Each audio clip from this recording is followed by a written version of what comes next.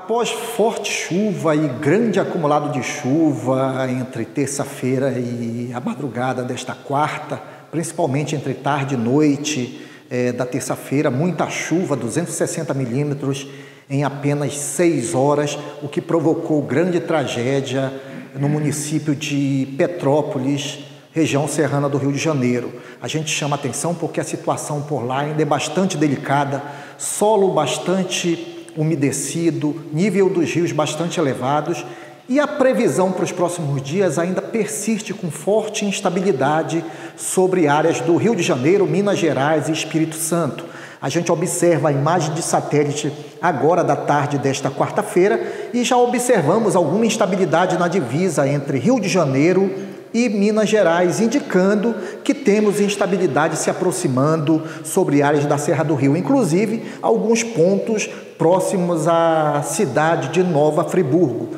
Pode chover ainda de forma localizada e a chuva pode ser forte entre a tarde e noite desta quarta-feira e a condição para chuva persiste pelo menos até a próxima sexta. Por isso, a população deve continuar atenta aos novos boletins de tempo do Instituto Nacional de Meteorologia e ficar atenta aos comunicados da Defesa Civil da sua cidade.